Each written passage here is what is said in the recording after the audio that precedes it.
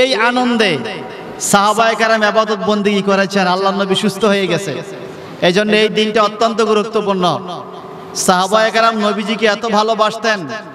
গোসলের টাইমে যে গোসলের পানি, অজুর পানি নবীজি যে গোসল করতেন, সে অজুর পানি, গোসলের পানি সাহাবায়ে কারাম তবারক মনে করে নিয়ে যাইতেন।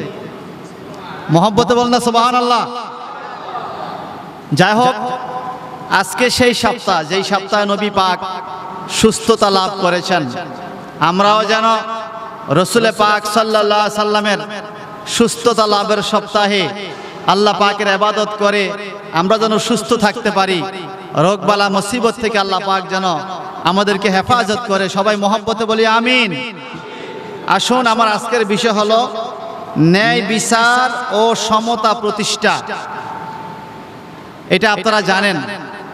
কোরআনুল কারিমে একটি সূরা রয়েছে সূরা আর রহমান এই সূরার মধ্যে আল্লাহ তাবারাকা তাআলা ন্যায় বিচার সংক্রান্ত আয়াতে কারিমে তালাওয়াত করেছেন যে আয়াত আমাদের দরবার শরীফ থেকে পাবলিশড হওয়া এই খোদবার মধ্যে স্থান পেয়েছে আল্লাহ পাক ফরমান বিসমিল্লাহির রহমানির রহিম والسماء رفعها ووضع الميزان ألا تطغوا في الميزان وأقيموا الوزن بالقسط ولا تخسروا الميزان محبت سبحان الله আমার আল্লাহ বলেন ওয়াসামা আরাফাহা আল্লাহ পাক আসমানটাকে সৃষ্টি করেছেন আসমান উপরে রেখেছেন আর আসমানের উপরে আল্লাহ পাক মিজান স্থাপন করেছেন। ওয়াদাল মিজান। সুবহানাল্লাহ বলেন। মিজান শব্দের অর্থ হলো দাড়ি পাল্লা। যেটা- দিয়ে আমরা ওজন করি, এটাকে বলা হয় মিজান। তো আল্লাহ পাক বলেন, আমি মিজান বানাইয়া আসমানের উপরে মিজান রেখে দিছি। সুবহানাল্লাহ কন। এই মিজান দিয়ে কি মাপা হবে? একটু ভালো করে শুনুন। আল্লাহ বলেন আল্লাহ ফিল মিজান। আল্লাহ বলেন, তোমরা কখনো দুনিয়াতে ওজনে মানুষকে ঠগাইও না। আপনারা সত্যি করে বলেন তো, কোনো ব্যবসায়ী যদি ক্রেতাকে ওজনে ঠগায়, কি ফাল্লা ঠগাইলো, নাকি যে বিক্রি করল সে ঠগাইলো? ফাল্লার কি দোষ আছে নাকি? বলেন না, ফাল্লার কোনো দোষ আছে? আল্লাহ পাক বলেন তোমরা কখনো ফাল্লা নিয়ে মানুষকে ঠগাইও না। বরং কি করবে?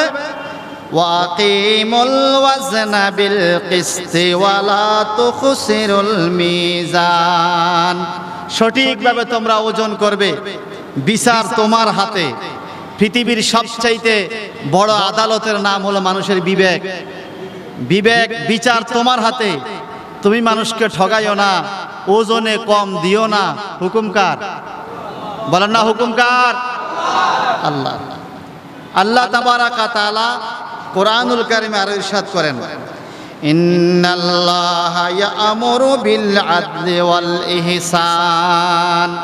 নিশ্চয় আল্লাহ তাবারা কাতালা ন্যায় পরায়ণ এবং ন্যায় বিচার প্রতিষ্ঠা করার জন্য তোমাদেরকে নির্দেশ দিছে। সুবহানাল্লাহ বলেন। ন্যায় বিচার প্রতিষ্ঠা। আসুন, আরেকখানে আয়াতে কারিমে আমরা পড়ি। আল্লাহ তাবারাকা তাআলা কোরআনুল কারীম ইরশাদ করেন। ইয়া আইয়ুহান নাস কুলু মিম্মা ফিল আরদি হালালান তাইয়্যিবা ওয়ালা তাত্তাবিউ খুতুওয়াতিশ শাইতান। ইন্নাহু লাকুম আদুউম মুবিন। আল্লাহ বলেন, ইয়া আইয়ুহান নাস হে মানব সম্প্রদায় কুলু মিম্মা ফিল আরদে হালালান তাইয়্যিবা। এই পৃথিবীতে হালাল যা কিছু আছে, তোমরা এগুলো বক্ষণ করো। সুবহানাল্লাহ বলেন। আর ওয়ালা তাত্তাবিউ খুতুওয়াতিশ শাইতান। শয়তানের অনুসরণ করিও না। একটা মানুষ যদি হারাম খায়, বুঝতে হবে সে শয়তানের পথে আছে। কথা কন ঠিক না বা ঠিক?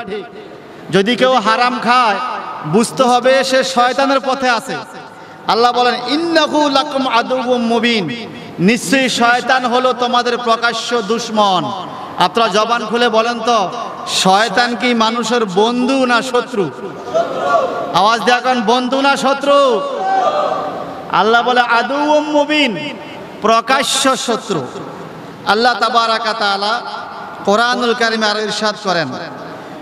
وازنوا بالقسطاس المستقيم واقسطوا ان الله يحب المقسطين তোমরা সরল সঠিক মাপকাঠির সাহায্যে ওজন সম্পাদন করো বিচার সম্পাদন করো সর্বত্র ন্যায় বিচার প্রতিষ্ঠা করো নিশ্চয়ই আল্লাহ ন্যায় বিচারককে ভালোবাসে ইন্নাল্লাহ ইউহিব্বুল মুকসিতিন যিনি বিচার প্রতিষ্ঠা করে তাকে আল্লাহ ভালোবাসে। যারা বিচারক, এলাকা সালিশ করে, দরবার করে, যারা বিচার প্রতিষ্ঠা করে, তাকে আল্লাহ ভালোবাসে। একথা কে বলে? বর্ণা কে বলে? আল্লাহ মুস্তাকিম। তোমরা সঠিক বিচার করো। সঠিক বিচার করলে আল্লাহ পাক তোমাদেরকে ভালোবাসবে। কথা কার? না কার? কীভাবে বিচার করবে দেখুন। ইরশাদ হচ্ছে এই খোদবার মধ্যে স্থান পেয়েছে কতগুলো কথা। ওয়ালি জালিকা নাহাশারু আনিল গাসাবে والسرقة والتطفيف في كيل والاقتيال والقتل بغير حق والامتياز بين الغني والفقير والقوي والضعيف وحسن المنظر وكبير المنظر وبين المحبوب والعدو والأبياد والأسود وغيرها من أسباب التعصب والميلان. لأنه ظلم والله لا يحب الظالمين. এখানে লেখা হয়েছে, দুর্বল, সুস্থ, চুরি, প্রতারণা, মাপে ওজনে কম দেওয়া বেআইনি হত্যাকাণ্ড, ধনী, গরিব, সুশ্রী, বিশ্রী, শত্রু, মিত্র, সাদা, কালো, এগুলো পার্থক্য করে তোমরা বিচার করিও না। মনে রাখতে হবে, বিচার সবার জন্য সমান। জোরে কান্না সুবাহান আল্লাহ বিচার সবার জন্য সমান।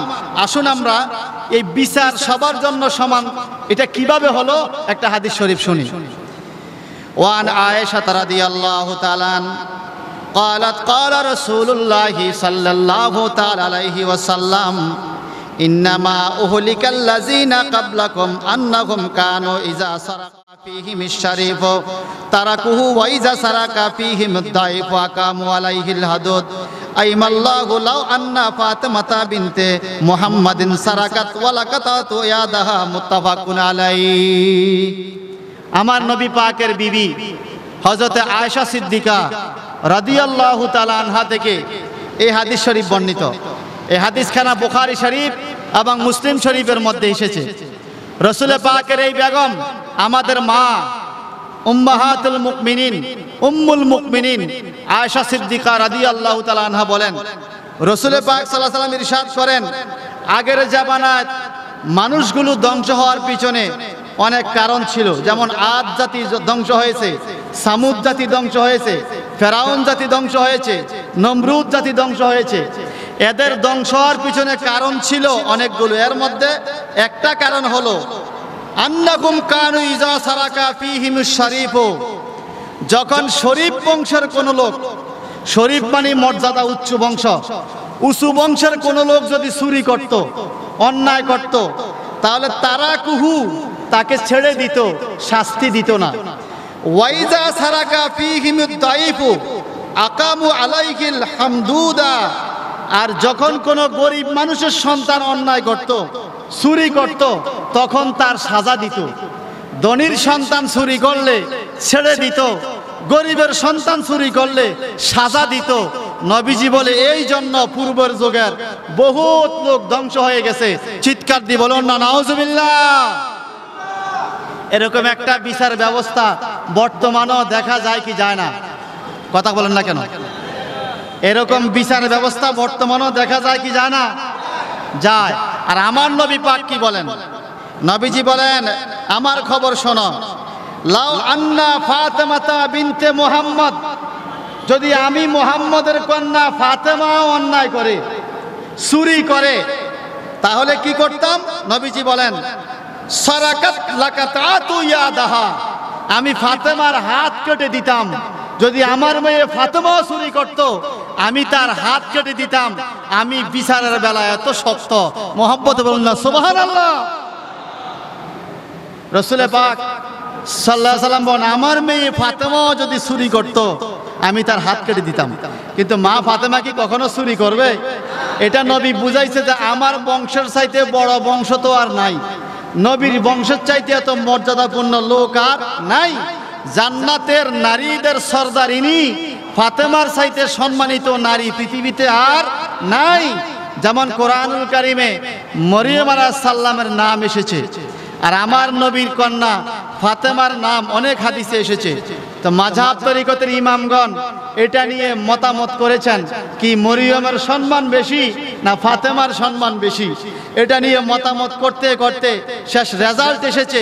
জমহুর ওলামায় কেরাম, প্রসিদ্ধ ওলামায় কেরাম এই ফতুয়া দিয়েছেন যে সারা পৃথিবীতে সবচাইতে সম্মানী নারী হইল নবীর কন্যা ফাতেমা। আরও জোরে কন্যা সুবহান আল্লাহ তো আমার নবী পাক বলেন, আমার সেই ফাতেমাও যদি চুরি করে, আমি তার হাত কেটে দিব। তাহলে বিচারের বেলায় শরীয়ত কখনো নিজের বংশের লোক এই বিচার করে না? অন্যা তো অন্যায়, যার অন্যায় যেমন, তার বিচারও তেমন। কথা বলেন ঠিক না পাঠে আসুন, আমরা আরেকখান হাদিস শরীফ শুনি। রসুল পাক সাল্লা সাল্লাম বলেন, কলা রসুল্লাহি সাল্লাহ সাল্লামা আল মুসলিম মান সালিম আল মুসলিম আমার নবীজি বলেন বিচার তোমরা কীভাবে করবে? ওই ব্যক্তি সঠিক মুসলমান। মান সালিমাল মুসলিমুনা মিল লিসানিহি, যার জবান থেকে আরেকজন মুসলমান নিরাপদ থাকে ওয়াদিহি এবং যার হাত থেকে আরেকজন মুসলমান নিরাপদ থাকে। জবান দিয়েও কষ্ট দেয় না, হাত দিয়েও কাউকে কষ্ট দেয় না। আমার নবী বলে, সে হইল প্রকৃত মুসলমান। সুবহানাল্লাহ কোন? মনে রাখবেন, হাতের আঘাতের চাইতে জবানের আঘাতের কষ্ট বেশি। কথা কন না, ঠিক কিনা কন? আপনি হাতে আঘাত করছেন, ব্যথা দূর হয়ে যাবে, কিন্তু জবানে অন্তরে যেই কষ্ট দেয়, এই ব্যথা সহজে দূর হয় না। এজন্য কবি সাহিত্যিকরাও বলেছেন, তরোয়ালের আঘাতের চাইতেও জবানের আঘাতের কষ্ট বেশি। এটার ঘা সহজে শুকায় না। রসুলে পাক আলাইহি সাল্লাম বলেন যারা জবান দিয়ে এবং হাত দিয়ে প্রতিবেশীকে কষ্ট দেয় না, এরা হলো প্রকৃত মুসলমান। মোহাম্মত বলনা সুবহান আল্লাহ রসুল পাক সাল্লাহ সাল্লাম এরপরে কি বলেন? ওয়াল মান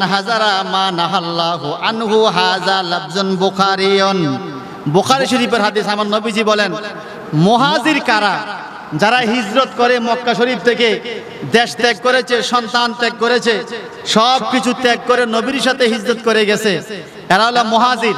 আর মহাজিরদেরকে যারা আশ্রয় দিয়েছে মদিনা শরীফে, এরা হলো আনসার। তো আমার নবী জীবন আমার উম্মতের মধ্যে এই দুই শ্রেণি কে কেয়ামতে আমার দুই পাশে থাকবে। এক পাশে থাকবে আনসাররা, এক পাশে থাকবে মহাজিররা। তো আমার নবীজি বলে, প্রকৃত মহাজির সেই লোক, প্রকৃত হিজরতকারী সেই লোক যেই লোকে আল্লাহ পাক যা কিছু নিষেধ করেছে, এগুলো ছেড়ে দিয়েছে, সে হলো প্রকৃত হিজরতকারী। জোরে জোরে কান্না সুবহান আল্লাহ যেমন রাস্তায় আপনি শহীদ হয়ে গেলেন, আল্লাহর রাস্তা শহীদ হয়েছেন। আর রসুল্লাহ পাক সাল্লাহ সাল্লাম বলে, কোন লোক যদি আখিরি জামানা ফিতনার টাইমে একটা মুর্দা সুন্নতকে জিন্দা করে, যেমন বয়াতে রসুল মুর্দা সুন্নত হয়ে গিয়েছে এটাকে জিন্দা করেছে কাইয়ুমে জামান আবু নসর সৈয়দ আবদ শাহ আল মাদানি রাদিয়াল্লাহু তাআলা তো উনি জিন্দা করার কারণে কি হয়েছে? নবীজি বলেন এক শত শহীদের সওয়াব তার আমল নামা দেওয়া হয়। তো রাস্তার মধ্যে আল্লাহর রাস্তা শহীদ হওয়ার চাইতে আপনি আল্লাহ পাক যেই কথা বলেছে এই কথা যদি আপনি ঠিকভাবে পালন করতে পারেন এখানেও শহীদের সওয়াব আছে। সুবহানাল্লাহ বলেন। তা আমার নবীজি বলেন এবার সাহাবা একরাম জিজ্ঞাসা করা শুরু করল, ইন্না রাজুলান সালান নবিয়া সাল্লাল্লাহু আলাইহি সাল্লাম। এক ব্যক্তি আমার নবীকে প্রশ্ন করলেন, ইয়া রাসূলুল্লাহ, আইয়ুল মুসলিমিনা খাইরুন? মুসলমানের মধ্যে কোন ব্যক্তিটা উত্তম? আমরা কাকে দামি মুসলমান বলব? কোন মুসলমান ভালো? রসুল পাক সাল্লাম বলেন, মান সালিমাল মুসলিমুনা মিন লিসানিহি ওয়া ইয়াদিহি। যেই মুসলমানের জবান থেকে, হাত থেকে অন্য মুসলমান নিরাপদে থাকে, নবীজি বলে সেই মুসলমান হলো শ্রেষ্ঠ মুসলমান। সুবহানাল্লাহ। আরও জোরে কন্যা সুবহানাল্লাহ। সে হলো শ্রেষ্ঠ মুসলমান। যে বিষয় ন্যায় পরায়ণ, ন্যায় বিচার, এই হাদিসগুলো আমাদের জানার দরকার আছে না নাই? আওয়াজ দিয়ে এখন আছে না নাই? রসুলে সাল্লাল্লাহু আলাইহি সাল্লাম আরেকখানা হাদিস।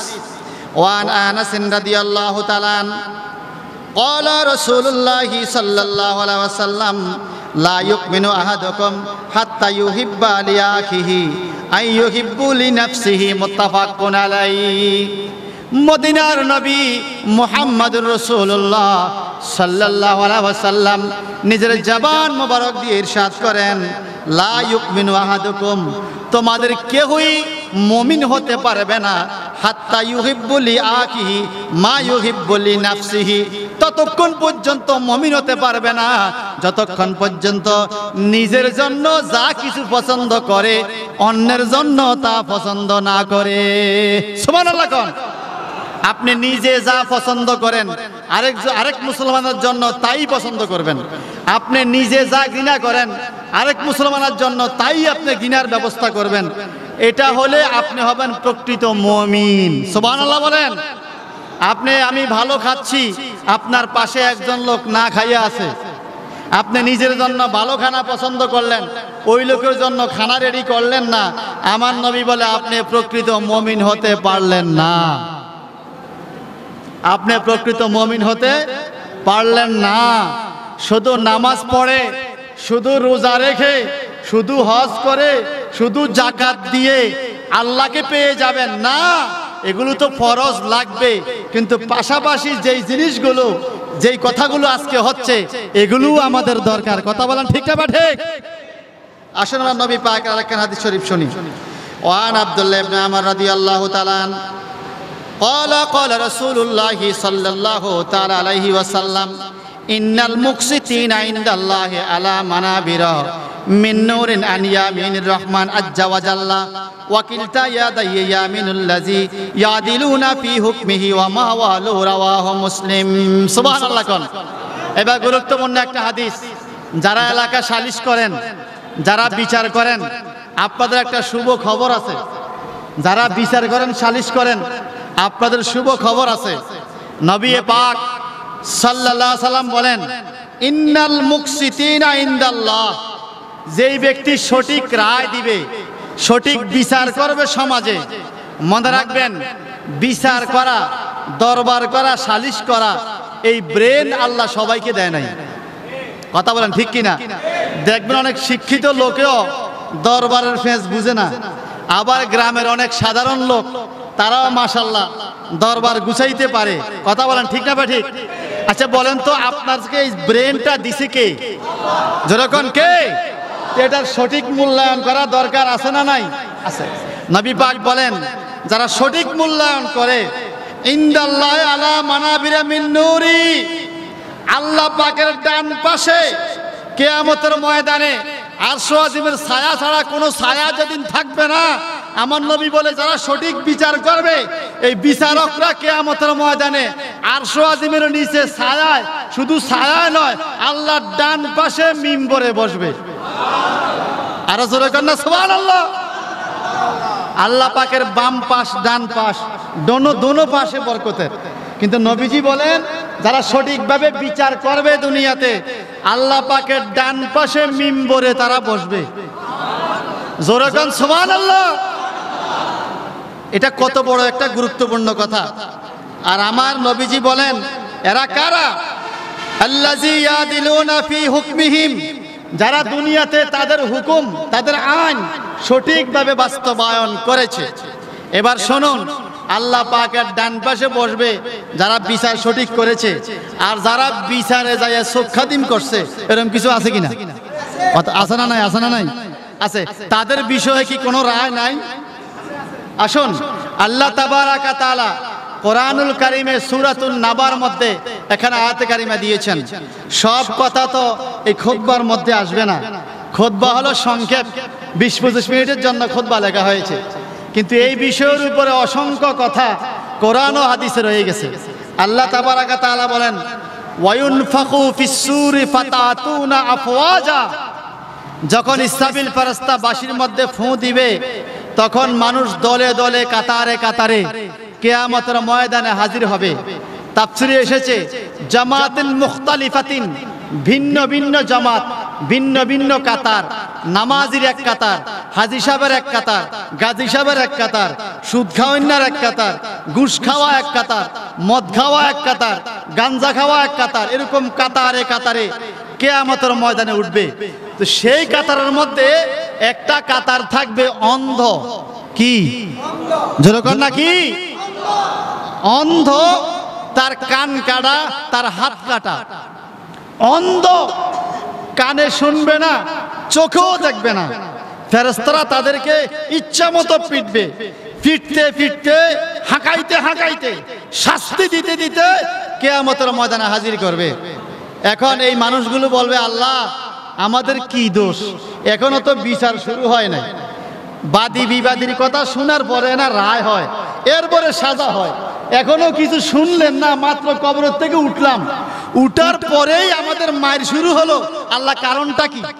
আমার আল্লাহ পাক বলেন, ওয়ায়ুরাফুল মুজরিমুনা, ইউরাফুল মুজরিমুনা বিসিমাহুম ফায়ুখাযু বিন নাওয়াসি ওয়াল আকদাম আল্লাহ বলে, আমি তোদেরকে কি জিগামু?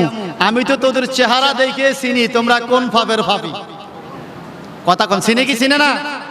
আল্লাহ বলে, আমি চেহারা দেখে চিনি, কোন পাপের পাবি তোমরা কি জিগামু?